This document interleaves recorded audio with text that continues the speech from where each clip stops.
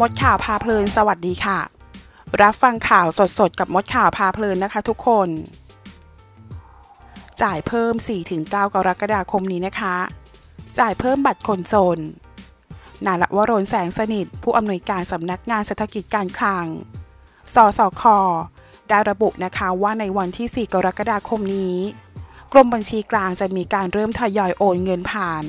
บัตรสวัสดิการแห่งรัฐหรือว่าบัตรคนจนจำนวน 1.14 ล้านคน วงเงินรวมทั้งสิ้นนะคะ 3,420 ล้านบาท จำนวน 1,000 บาท 3 เดือน พฤษภาถึงกรกฎาคมนี้ โดยเป็นเงินจ่ายทั้งหมด 3,000 บาทในครั้งเดียวค่ะ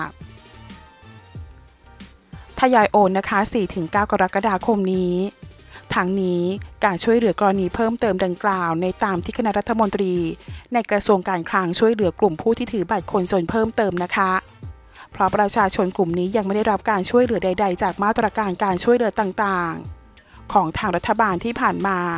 เราไม่ทิ้งกันแล้วก็เยียวยาเกษตรกรนะคะ จากจำนวนผู้ถือบัตรคนจนทั้งหมด 14.5 ล้านรายค่ะ อย่างไรก็ดีนะคะ คาดการว่าคนกลุ่มนี้นั้นจะได้ใช้เงินหมด อย่างรวดเร็วหรือว่าใช้หมดในครั้งเดียว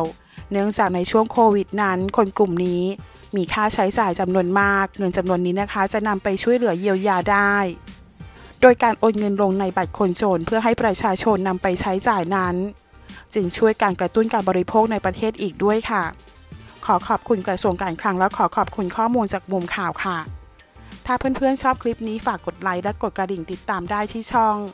หมดข่าวพาเพลินด้วยนะคะ ขอบคุณค่ะ